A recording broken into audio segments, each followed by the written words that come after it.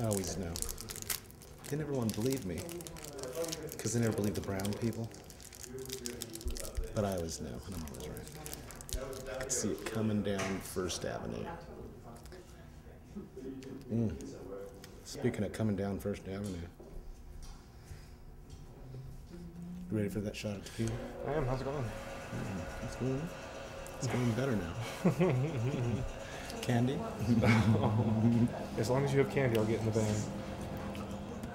Oh, must be awful being an atheist. I mean, who would you cry out to during sex? It's a good thing you're pretty.